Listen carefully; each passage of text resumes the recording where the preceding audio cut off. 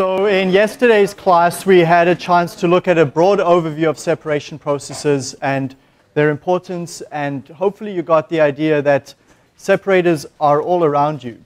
They're in, everywhere in your home, and in your body you have several separation type units that are helping your body function. We then ended off the class yesterday by looking at that matrix on the board. There was that three rows, three columns, looking at how you can classify separations based on which phases are being separated from each other. So solids from liquids from gases. And we also made the important distinction in yesterday's class that fluid, when we use the term fluid, it means either a, sol uh, either a liquid or a gas can be re uh, referred to by that term. And then I wanted to end off the class yesterday, but I ran out of time and wanted to talk about this topic of separating agents. Separations don't occur by themselves. The second law of thermodynamics prevents that idea from happening. We always have either a mass being added to our system or energy being added to our system, and in some cases both. So you have to add either a mass separating agent or an energy separating agent to create that separation or to assist that separation to occur. So if you're adding heat to a system, for example, to boil water, to evaporate it off, that's clearly an energy separating agent being added. If you have to add a liquid solvent, that's extra mass being added to the system. That's a mass separating agent. If you're adding pressure, such as in a filtration device, you are pushing to get material to move through the filtration medium, the pressure that you're adding is an energy separating agent, but that filter medium, that piece of paper cloth or rubber or some device that's retaining the solids, what is that? An ESA or an MSA? It's a mass separating agent. So you have to add some sort of device to create that separation. What is vacuum?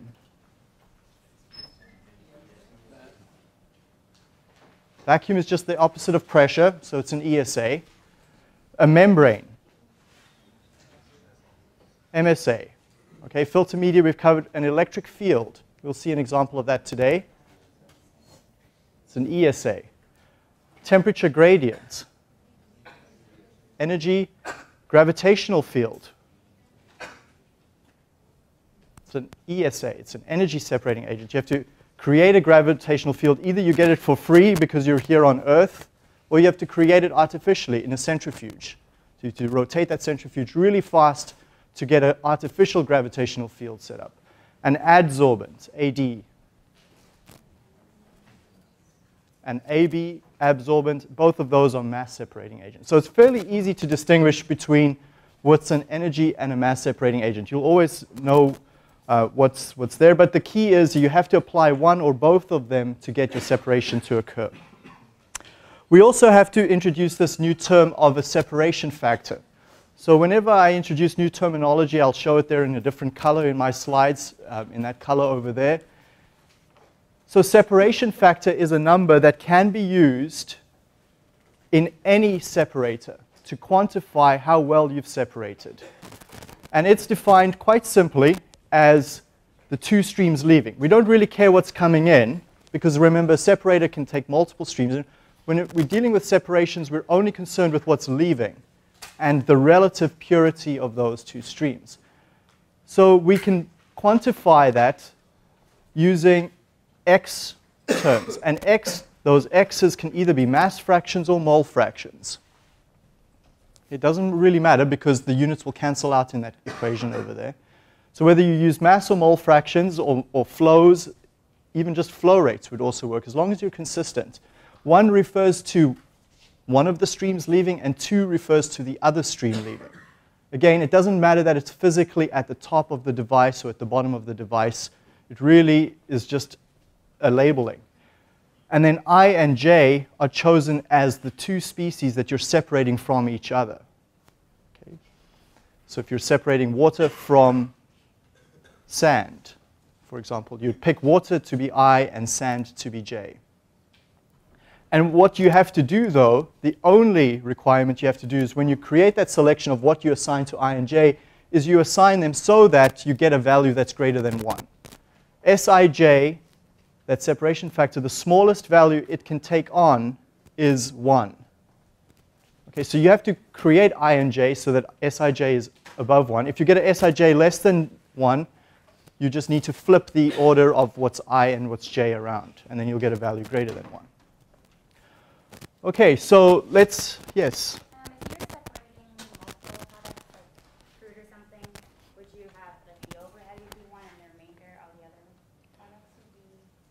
Yeah, so it's, it's and, and the I and J is also, if you're separating multiple products from each other, it would be you create separation factors for each combination of, of the materials being separated, okay?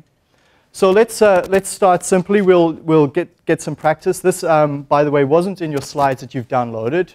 I see a lot of you writing down stuff. You really shouldn't be. Um, you should just be printing the notes off the website. I don't want you to be spending your time copying incorrectly what's on the slides down on your paper. Simply print those notes, bring them to class. But this is one that you don't have in your notes. You don't really need it because it's a case study, and I want you to think about this. So here's a, here's a cyclone. We'll look, get to this two, three weeks from now. A cyclone has your feed coming in over there. Uh, this is at a sawmill. So your feed coming in, and it's being spun around your material. You can see inside there. We'll look at those diagrams in detail later on but there's two streams leaving, your overhead stream and your underflow stream. Your underflow stream is mostly solids, and in this case, it's 60% solids, 40% fluid. That fluid could either be air or water, depending on what you're separating here. In this particular example, our fluid is, the, is air. Up at the top, we have 99% fluid and 1% dust. So we're trying to separate dust from that incoming mixture. Calculate the separation factor got a minute. You should be able to do this really quickly.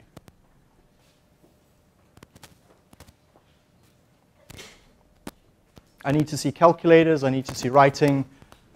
We need to get some numbers here.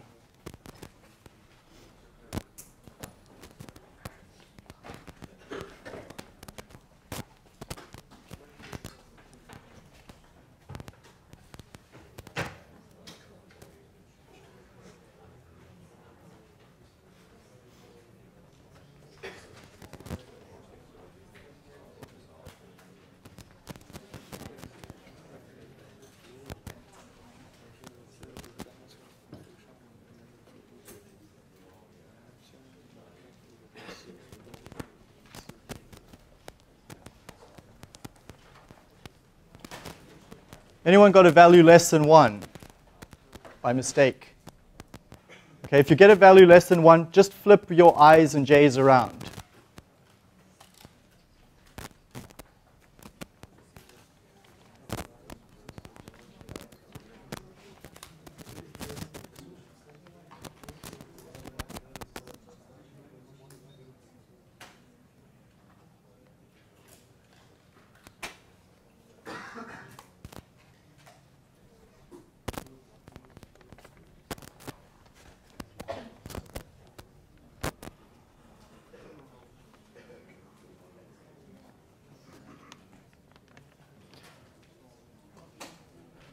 So if we assign I as my fluid phase and J as dust, that's one option.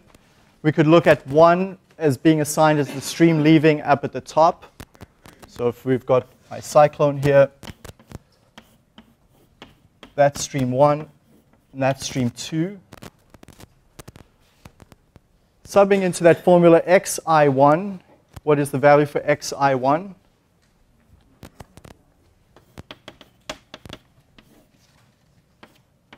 What's this entry over here? So 99 over 1% of dust. So xj1, j is dust leaving in the first stream at the overhead. The denominator is equal to 60 over 40. And you get a separation factor of 40 a 60? Yep. Okay, what's your separation factor then?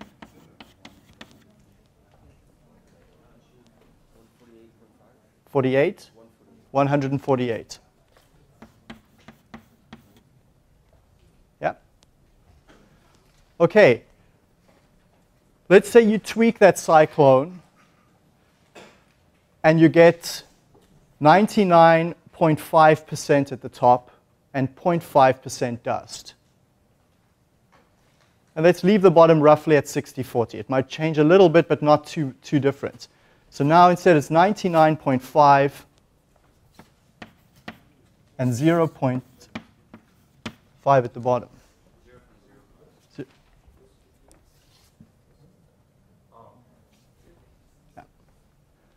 Okay, so what's your separation factor now? 298. Okay, so separation factor's gone up.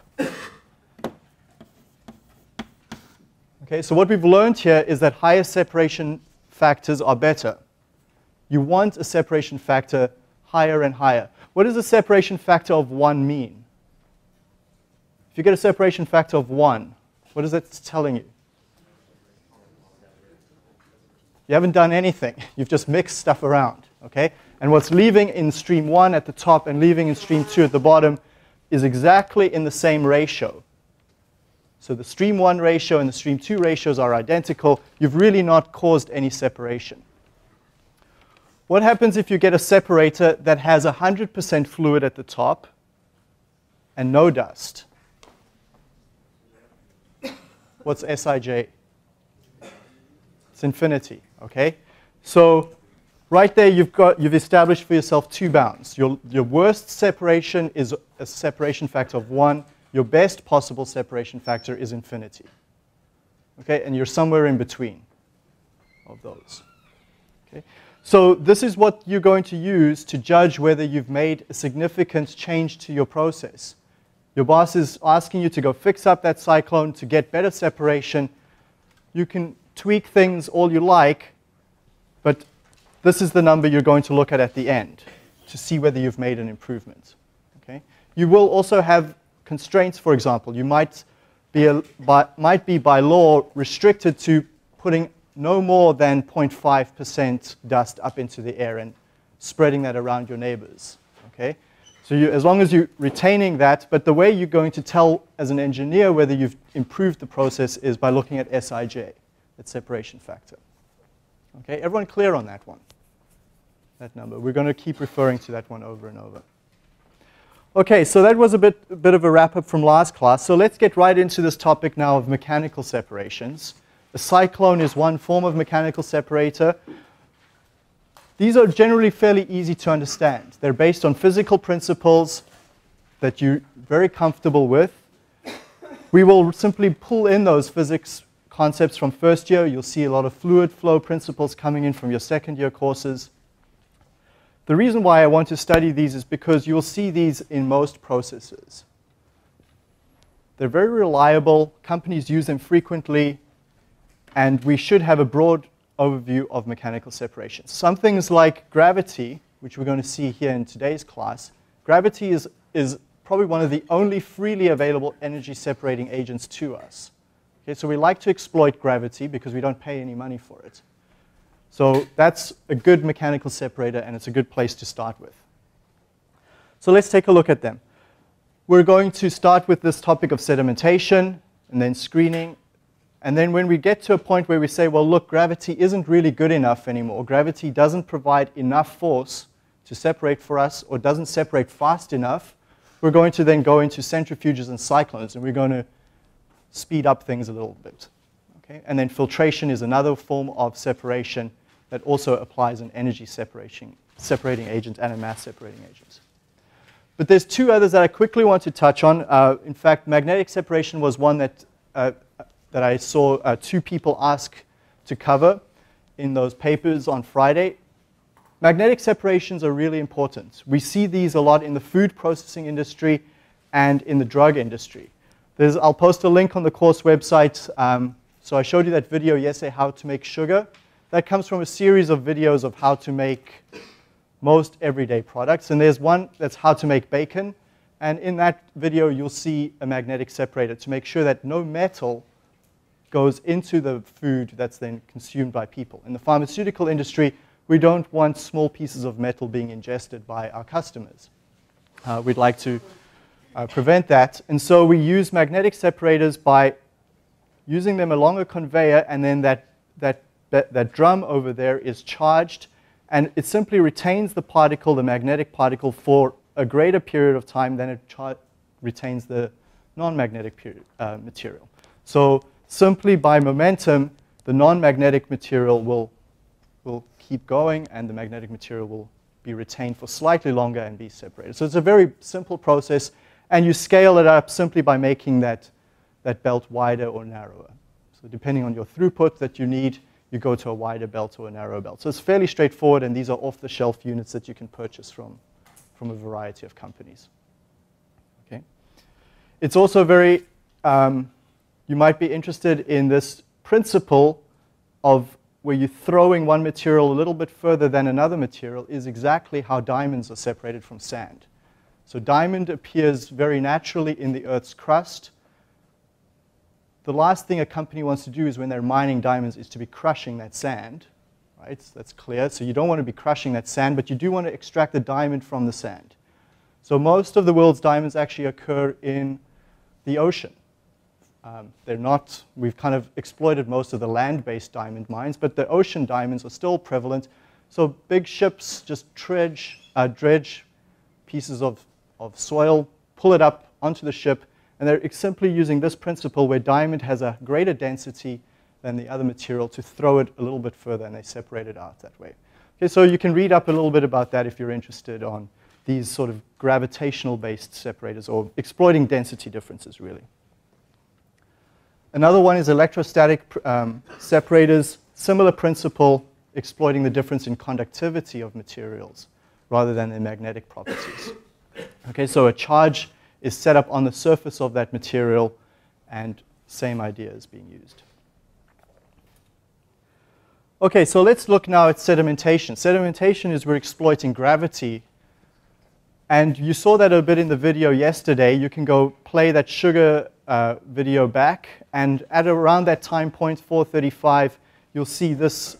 This is just a screenshot from it uh, where the material on the left here is mostly separated, and there the material on the right is starting to separate through sedimentation. And there's that interface between the separated material and the sludge settling down in the bottom. Um, have any of you done that lab where you, you, you, you watch the stuff settle?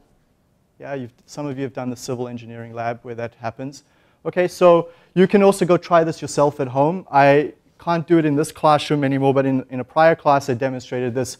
Uh, if you have concrete powder lying around from any of your home renovations or your parents' renovations or even just drywall compound, mix that up in water and you can watch it um, settle out or uh, add vinegar to milk. It doesn't work quite so, so well as the, the other two, but if you make that milk curdle, you can see the curds separating out that way. So we're simply using gravity to do that work for us. Now, what we will use here, and for those of you that work in the wastewater treatment areas after this, uh, you'll see three words that are related to this area, thickening, clarification, and dewatering. And now, thickening and clarification are two types of sedimentation where we're removing these solids from the fluid. Thickening simply aims to increase that solids concentration to a higher level. So we want a higher solids concentration, and generally these processes are done at higher throughput. Clarification is exactly what it says, where you're trying to clarify that liquid a little bit further by removing the last bit of solids. But the key distinction here is when you're clarifying is that your feed is relatively dilute with solids. It's mostly fluid, little solids. And then once you've, once you've separated those materials, or you've, you've thickened your materials, that solid waste coming out the bottom of the thickener, uh, it's, not, it's not a type of sedimentation, but it's a term that's related to this. You'll always see this on the same flow sheet. You'll see a dewatering step. A dewatering step takes those solids now and tries to remove the last bit of water from them. Okay, so your typical wastewater treatment flow sheet will have thickeners, then clarifiers, and the solids from the, from the thickeners will then go to dewatering to try and remove the last bit of water. Quite clearly, we, want, we don't want to, that solid material from a wastewater treatment process has to be put somewhere. Right? We, can use it as fertilizer, we can burn it, but what we do want to do first is remove as much water from it first as possible to reduce the weight of material that we have to deal with. Okay, so I thought I'd just uh, throw those words out there for those of you that won't ever deal with wastewater treatment, but these are good terms to know about. Yes? Okay, so coagulation is, uh, is a term we're going to see probably two classes from now. We'll look at that in some detail.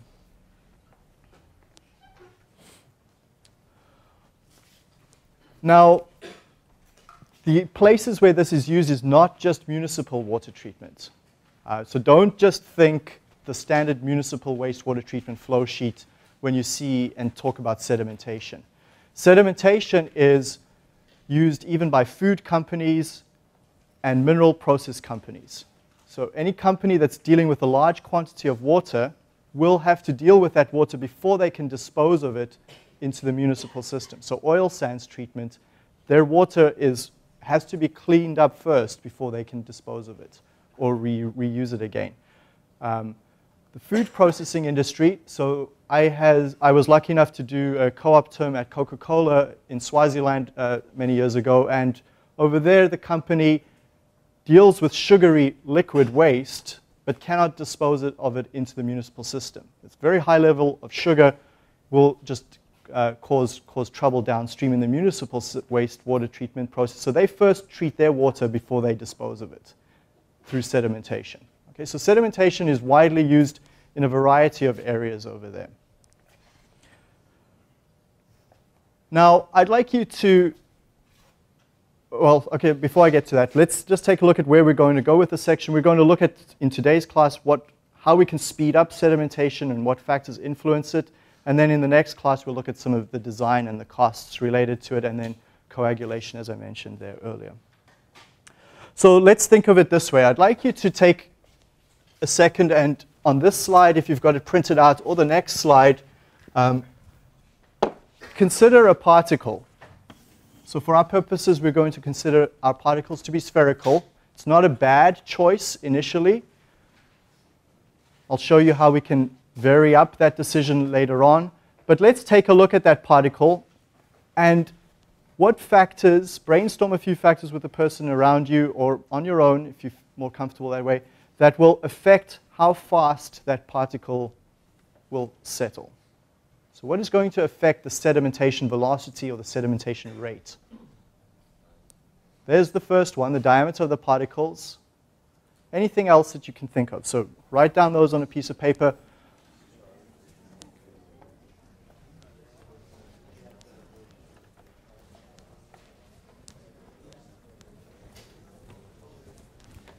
Hey, Chris, just be careful if you're sitting here. Too. Okay. Yeah, it didn't bump, so it's okay. Yeah,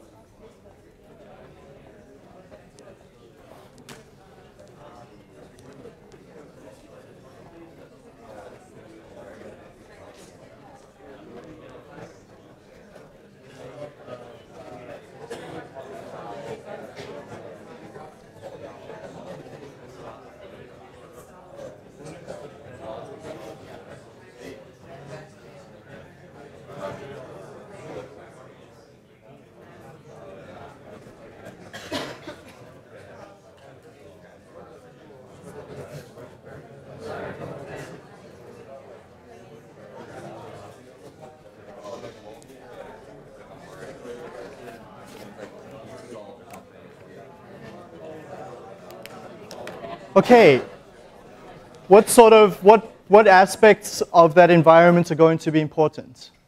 Got the, the diameter of this particle, the mass of the particle, anything else? Devin? Viscosity of the fluid around it. So, so this particle is surrounded by fluid. Let's consider that board to be the fluid around it, the viscosity of that. Yeah. Helen? The roughness of the particle, okay, it's a good one.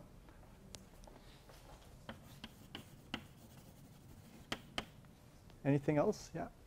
Porosity. Porosity of the particle, okay.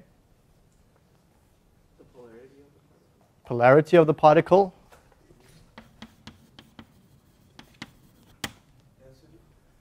of, of the fluid. So density of the fluid.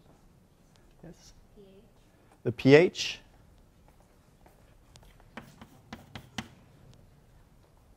Sean? The velocity of the fluid? The velocity of the fluid. Yeah.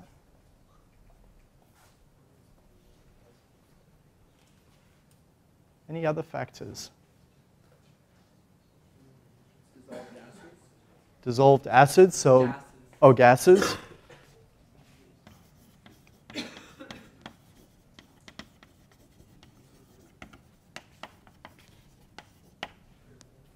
Yeah. Gravity. Gravity itself, yeah. The temperature of the fluid, or yeah. What is temperature of the fluid going to affect viscosity? Okay, so temperature of the fluid will indirectly have an effect through there, right?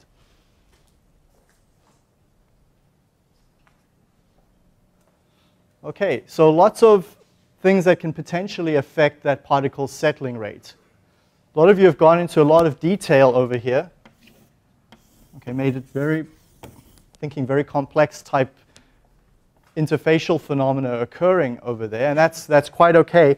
Let's take a look at um, just uh, one other point here. I think we've got them all, strength of the gravitational field, the density of the particle versus the fluid. So we've got the density of the fluid. The other one is the density of the particle itself.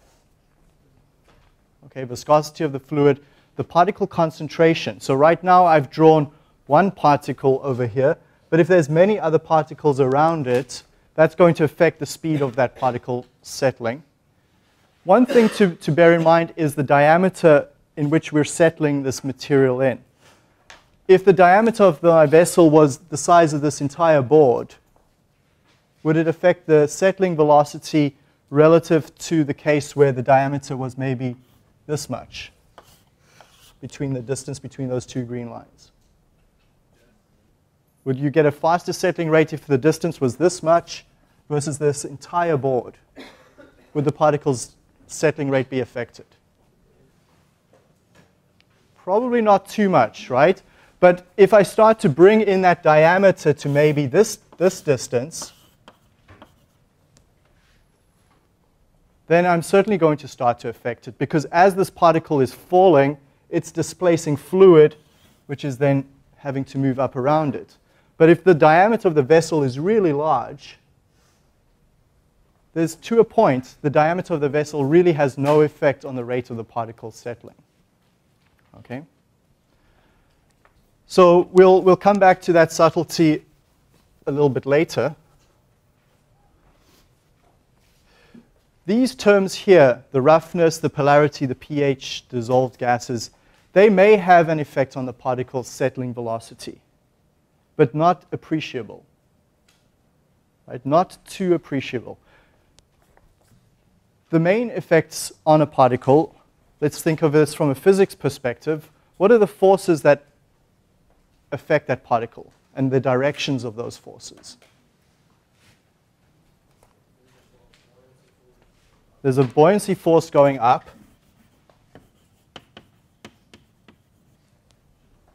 Devin? There's a drag force. Okay, which direction is the drag force? Up?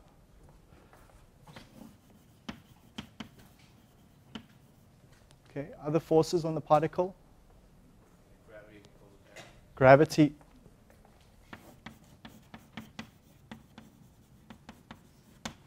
Okay. What is the gravity force related to? Mass of the particle, g, the gravitational constant. Anything else? What's the proportional, what's the, that term going to be equal to in a mathematical equation? Okay, so back to first year physics. so gravity, a constant downward force is m times g, the mass of the particle, times the gravitational. Or another way of stating that is the volume of the particle times its density, rho p, times g. Okay, so there's your gravitational force. Buoyancy force is proportional to the volume of fluid displaced. So while gravitational force is proportional to that particle over there, the buoyancy is proportional to the volume of fluid displaced multiplied by rho f. Okay, so it's the rho f appears in the buoyancy force, whereas rho p, the particle's density, appears in the gravitational force. And then drag opposes the particle's motion in the upward direction, as, as Devin mentioned, and we'll take a look at that on the next slide. There are some other forces that might affect this particle, which we're going to discount for now. Brownian motion, and some of these other minor chemical interaction forces that were mentioned. So any sort of gases bumping into that particle, dissolved gases, effects due to pH, polarity, and surface roughness, we're going to discount that for now. They're relatively minor. You're not going to make a mistake by dropping those off. Certainly not, to, not for the use that we're, we're using this for. Okay, any questions up to this point? Okay, let's go do a momentum balance on this. And we need one more term, though, to do the momentum balance. We need a term for the drag force. So F drag is given by a drag coefficient CD times the area of the particle, and that is AP, is the projected area of the particle. Let me quickly explain that um, to you in this way.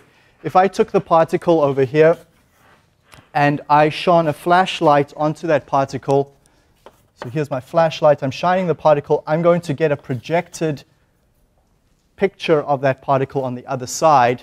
That projected picture refers to AP. That's that area over there given by a diameter of the particle dp. Okay?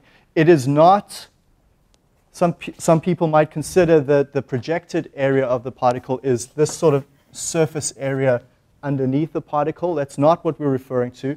It's the, it's the area that the fluid sees coming from the particle falling down. Okay, so it's that area looking up at this particle falling down at you, you're seeing that projected area AP. Okay? So that's a standard formula for the drag coefficient. The only other term we need to be mindful of in there is the velocity term. The velocity term refers to the relative velocity between the particle and the fluid. Consider the following. If that particle is falling down with the velocity of v, vp going down, but the fluid that it is suspended in has a velocity upwards of vf, if the fluid's velocity matches the particle's velocity, that particle will stay exactly static. Okay? And that is the principle of elutriation. So if you've heard the term elutriation, all elutriation does is it moves liquid up at a certain velocity, and particles which are small get carried up with the fluid, and particles which are heavier, sorry, are, have a lower terminal velocity, will settle down. Okay? And particles that are exactly at the right shape will stay static. So elutriation is a way to separate particles by exploiting an upward fluid velocity and matching it with the downward terminal settling velocity of the particle. Okay? So it's very important to realize, though, that the drag force is proportional to the relative velocity. Because if Vf matches Vp, that particle isn't really moving. It's static in that frame of reference, and so there's no drag on it. So what we're referring to there in that V is the net velocity between the particle and the fluid. Okay, so we can estimate that CD, though, in several ways. There's several equations available to us, and they depend on where we are in the Reynolds number. The drag is related to the Reynolds number in the inverse way when we're at low Reynolds numbers. So 24 over Reynolds number or 24 over Reynolds number with some modification factor after it. So essentially in this, this region where Reynolds number is less than 1,000, higher Reynolds numbers mean lower drags. So as you go to higher and higher more and more turbulent conditions, you get less and less drag. Remember that from physics? Okay? So there's that mathematical statement of that fact. Beyond a certain Reynolds number, you get constant drag. Drag doesn't change too much anymore beyond a certain turbulent level. And then if you're really at high turbulence, that drops down a little bit, and, but it's also constant. So we can visualize that over those four regions by seeing that constant decrease. So there's the 24 divided by Reynolds number. It's roughly a straight line with that slope of 24. Then we get that sort of a bit of a curvature happening. That's that second region over there. So this refers to that region. So as our Reynolds number goes up, we curve slightly. Then we get to that 0.44, and then we get that drop down to about 0.1. Okay. So that's the visual statement of those four equations. Okay, so now we're ready to do our momentum balance. So sub in those, those, four, those three forces. Our momentum on the left over there is set to zero at steady state, and we can solve in, uh, sub in that the volume of the particle is given by that relationship. The projected area of the particle is given by that second equation over there. And we can solve for v, the terminal settling velocity. Terminal settling velocity is actually reached pretty quickly. Okay? So particles will initially be slower and then they'll reach their terminal settling velocity and remain at that. But the time taken to reach that terminal settling velocity is relatively short. So we, we simply discount that sort of warm-up period. But it quickly reaches VTSV. Take a look at that equation and ask yourself if it makes sense. Um, just a question about the, uh, the V that we use in, in the drag force. Yeah. Is that uh, velocity of the particle relative to the bulk fluid or to like the fluid right next to it that it's displacing? To the bulk fluid, yeah. Let's take a look at, does this make sense?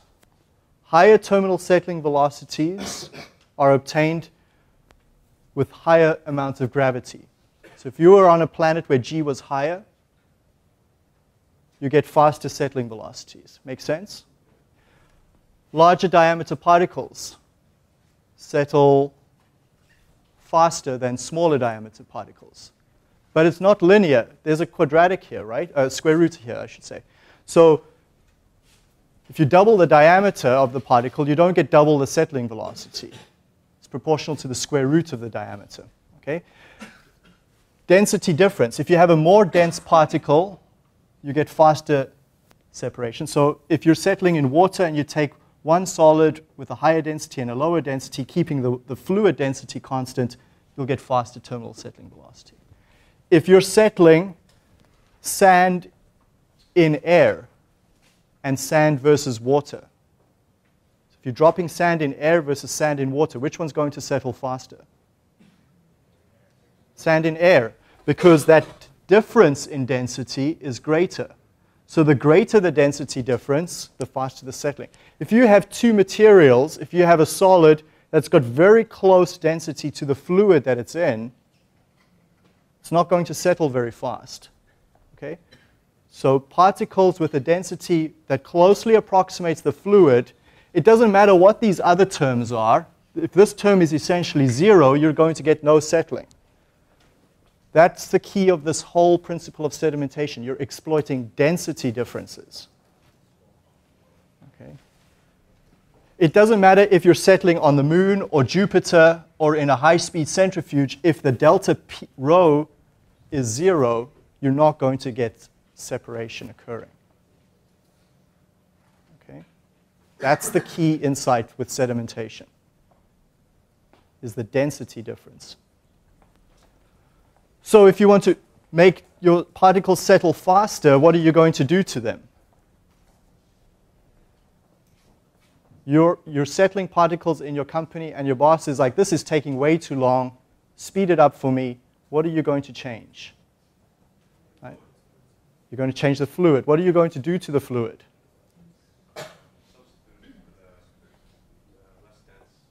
Use a less dense fluid. So could you use a less dense fluid and you get faster separation? Okay. What happens? Can you change the viscosity of the fluid? Where does that have an effect? Where does viscosity show up in there? I don't see it in the equation. Through drag force, which is an effect of Reynolds number, okay? So this, these equations are powerful from a process optimization point of view. We don't want to jump straight to designing our processes. We want to first look at this equation and see how we can use it to improve our existing system. Okay, and that equation tells us, tells us how to do that. Let's take a look now at the case when Reynolds number is less than 1. We get a bit of a simplification occurring. I'll show that over here. If Reynolds number is less than 1, we've got a very straightforward relationship for the drag coefficient. CD is 24 divided by the Reynolds number. And we can substitute that 24 divided by Reynolds number in there for CD. Do a bit of a cleanup on that equation, and I'll leave that to, to you to do. You can get, you get a quadratic form, and you can prove that that's the simplification. When Reynolds number is less than 1, you can use that equation instead. Okay? So as long as you know that you're in, in very laminar, very uh, calm conditions, you can jump straight to using this equation to calculate the terminal settling velocity. And this goes by the name of Stokes' law. Stokes was the person that figured that out. Now, there's a problem though. If Reynolds number is, is not less than 1, there's a problem using this equation. And the problem is, to use this equation, we need to know CD, the drag coefficient. To calculate the drag coefficient, we need to know Reynolds number. To calculate Reynolds number, you need velocity. Okay, so you're now tied up in a circle over there. If you want to calculate the velocity, you need CD. CD needs the Reynolds number. Reynolds number is a function of the velocity. So we break that cycle by simply following the this approach. Let's assume Reynolds number is less than 1. Let's, that's a good assumption to start with. In other words, we're in Stokes's region. So if we're in Stokes's region, we can use his results that that is the terminal settling velocity. So quickly go calculate that velocity. We've got all the other information we need. Well, were we really in Stokes' region? We can quickly go check that. Go calculate the, the Reynolds number. We now have that V. We know the particle diameter. We know the fluid's properties. And verify whether Reynolds number actually was less than 1. If it was, we're great. Okay, then we've got the, our terminal settling velocity and problem solved. But let's say Reynolds number was 2,000. What do you do next? If you calculated that velocity from Stokes' law, calculate the Reynolds number, you get a Reynolds of 2,000. Well, then you go back to this set of equations over here. And if Reynolds number was 2,000, you use CD in that entry over there, and you recalculate the velocity now using this equation, not Stokes' simplification. You use this full equation over here. So now we use CD with the new value in there, and recalculate our terminal settling velocity. Okay, and then you check your Reynolds number again, and then you check that, it's, that you were correct. Were you in the correct region? And you iterate a few times. Okay, so let's give that a go. Here's a chance for you to try that. Go ahead and try that example over there.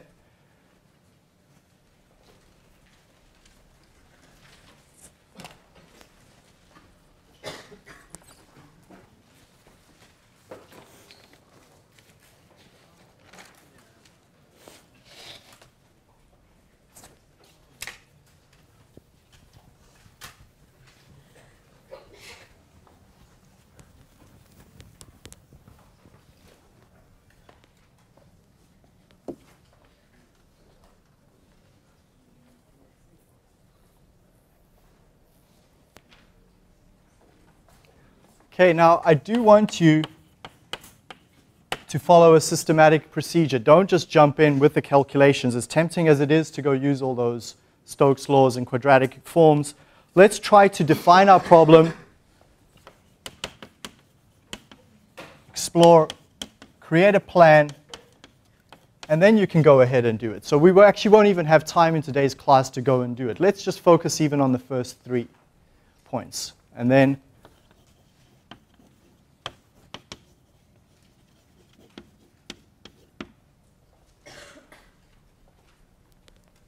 So define. Define step refers to stating what you know and what you don't know, and what it is you'd like to do. So what is it that we'd like to do here?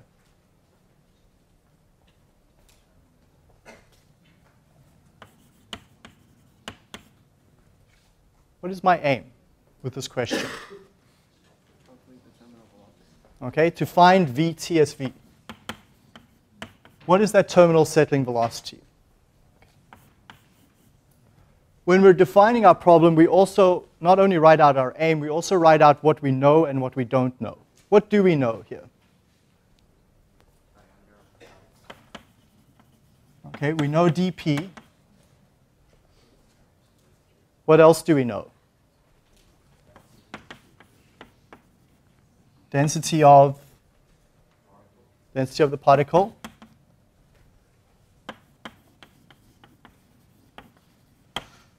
Anything else we know? Dens- okay, we know density of the fluid. We're going to use a thousand because it's water.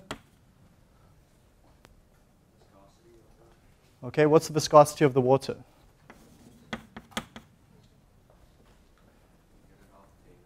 Nope. This is something you have to know. As an engineer, it would be unacceptable if you didn't know the viscosity of water at room temperature. you know that the density is 1,000, viscosity is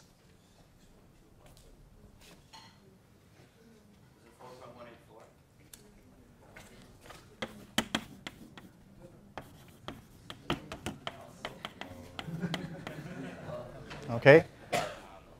Very simple. If the density is 1,000, just flip it around, you get the viscosity.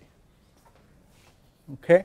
You have to remember that. It would be really, really terrible if you graduate from here and you don't know viscosity of water. Um, what else do we know or don't know? Okay. Explore. What are we going to use to calculate the terminal settling velocity? Explore the problem. What factors affect the terminal settling velocity? We've, uh, we've just done that in the derivation prior to this. So the explore step is a little bit superfluous in this example, but there is one other thing that we want to do here in the explore step, and that's write out what we're assuming. What are we assuming in this system? The water is 20 degrees. We'll get to that in a second. We're, we're assuming that this is the only particle and it's not affected by anything else. Okay, that there's no walls around it that are affecting it, that there's no upward fluid velocity, that the particle is in a, in a static liquid environment. Okay, these are all the things that are in the back of your head but are not on paper. And when you're working as an engineer, it's fine to have them in the back of your head, but it would not be fine if you're giving that piece of work over to one of your colleagues, maybe in another country, maybe in another division in your company. They don't see that. Okay? So stating what those assumptions are in the explore step, we're assuming that we're in an unhindered environment. So unhindered settling. We'll elaborate a little bit on that word later on, but essentially it means that this particle is not being disturbed by any walls or any other particles around it. So it's being unhindered. We're also assuming that there's no upward velocity.